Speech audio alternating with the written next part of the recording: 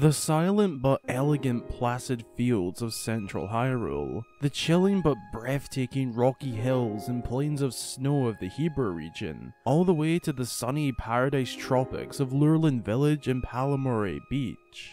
It would be an understatement to say that Breath of the Wild is just a beautiful game.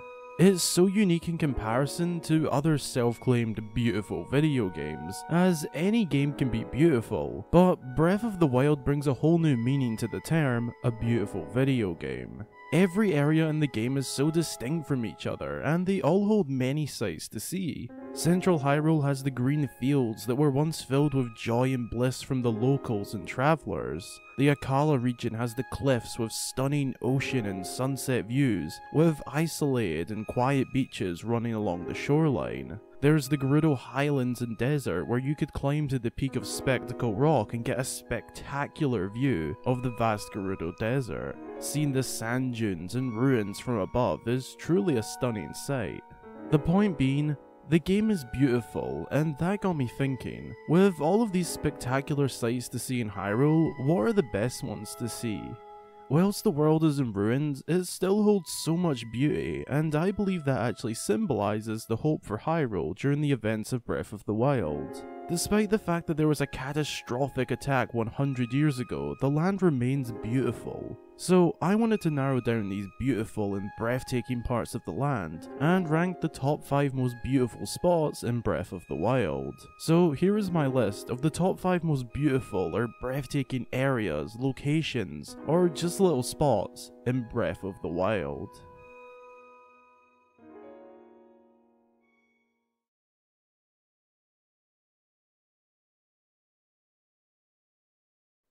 In at the opening number 5 spot, we have Selmie's Spot.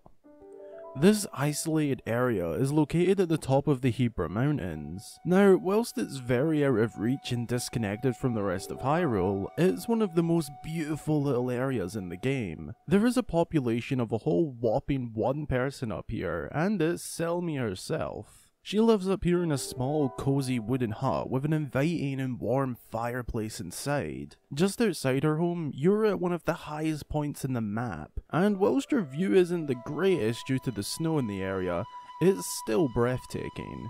You can look down the mountains and see the pure white snow of the Hebra region fall and cover the rocky plains in a thick white blanket of snow. Or go for a little walk around the area, as it also has a little trail that you can follow. It will lead you around the area which is honestly beautiful.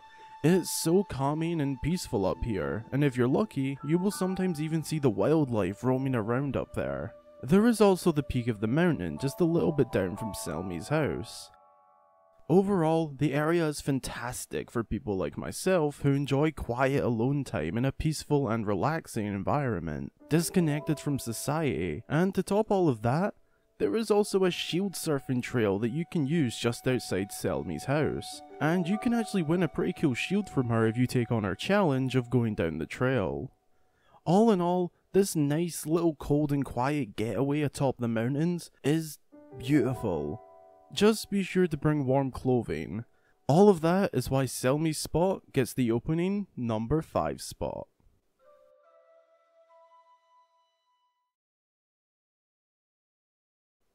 Next up, coming in at the number 4 spot is Lurelin Village.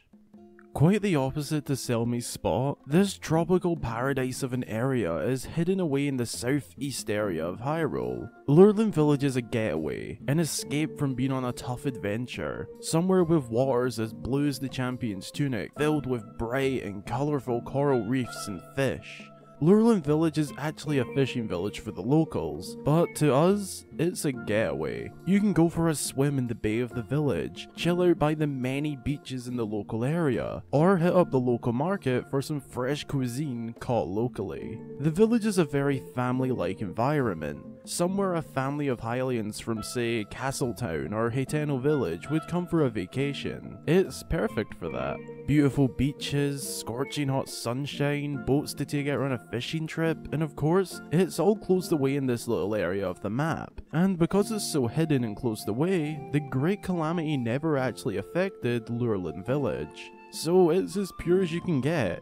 No damage or enemy camps, just a nice relaxing paradise getaway. Some players of Breath of the Wild have actually said they missed this village on their playthrough. That alone just shows how hidden this little paradise is. You'll definitely be in for a relaxing time here. Nearby sites include the Golgby Shores, Soka Point, Palmorae Beach, and Tuft Mountain. Everything in this area is beautiful, and if you're a real adventure seeker, there is also Eventide Island to sail out to as well, but that comes at your own risk. Anyway, all of this area's beautiful tropics, golden beaches, and just the friendly vibes of the area is why I've given it the number 4 spot on my list. In at the number 3 spot is the Serenne Stable and its surrounding area. Now, I say surrounding area because it's a very small area, but it's technically broken into a few different plains and hills. So here I have highlighted the area that I'm talking about. This area is one for the nature lovers, like myself. You have the main settlement being the Serenne Stable itself, a typical stable in Breath of the Wild, but shrouded away in a circle of tall trees. A nice and enclosed stable where children can run around and play safely. The fact that it is surrounded by fencing and trees makes it feel a lot safer and closed in. But the main talking points about this area are the grassy plains and hills. You can simply walk out from the stable and go for a very scenic walk or horse ride out into those fields. It's a very simple view, but certainly a stunning one. You have green grass that goes on for what seems like forever. You have those tall and beautiful trees everywhere. And if you like a little bit of edge in your life, you can walk along the edge of the Tanagar Canyon. Just be sure to not get too close to the edge. You can climb up the hills for a peaceful little view of the fields, or head round the corner to chill out by the water. It's undoubtedly the most simple and plain little area, but definitely a very elegant and peaceful one that truly represents the beautiful and wild aspects of this game, as you can see the wind blowing through the grass and flowers, causing the trees to sway ever so slightly, and also be around the wildlife like foxes, birds, and sometimes even wolves. It's a fantastic little piece of land that, due to its elegance and charm, earns my number 3 spot on my list.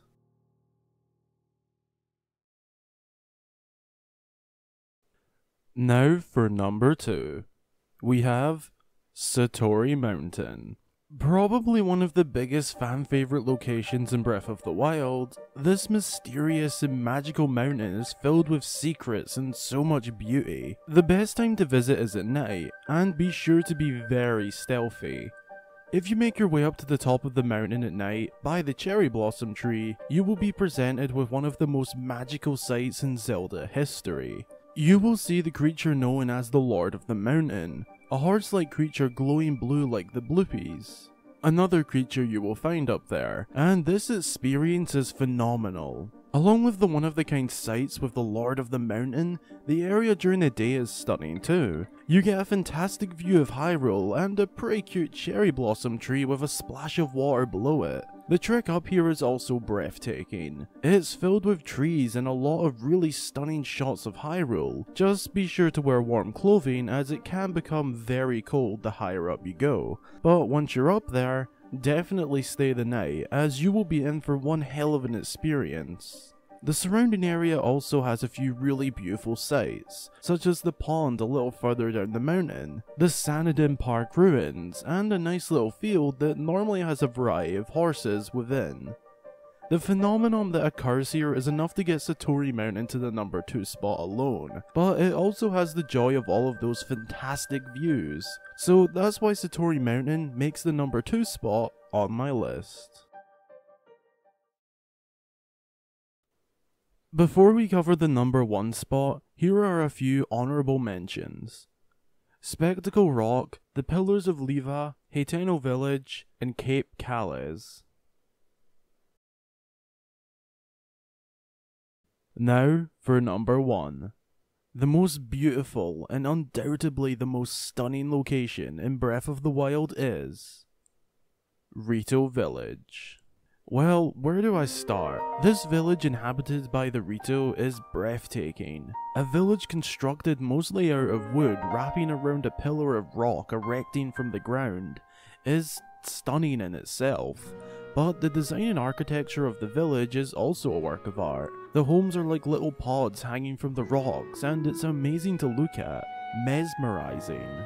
Everything is connected by little bridges and staircases wrapping around the rocks. The entrance itself is stunning too.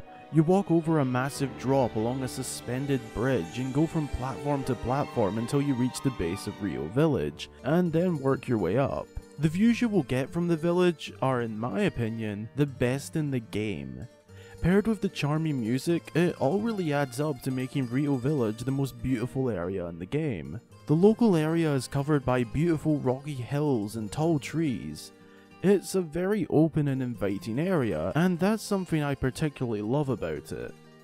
It really feels like an area for the Rito. The homes are somewhat like bird cages if you like, and the massive pillar of rock is like a stand for a bird. I love this area to bits, and it is undoubtedly the most beautiful location in Breath of the Wild.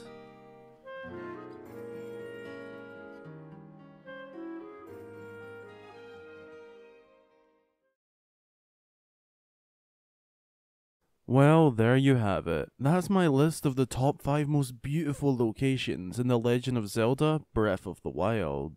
Of course, these are just my picks, so be sure to let me know what your picks are and if you agree with any of mine. I look forward to seeing your responses. Some of you may know I have started doing little teasers for upcoming videos, and if you were able to guess the video from said teaser, I said you would get a mention in said video. So here is everyone who managed to guess this video correctly. Be sure to join my Discord server, follow me on Twitter, Instagram, or check my community posts here on YouTube to see the teasers and have a chance to be featured in the video. Huge thank you to my Patreon supporters Hexovian, Lenarco1, Tala, Karika, Safria Sky, and Daniel Kelman, as your support really helps me to run the channel and get videos like this one out as often as possible. Thank you very much.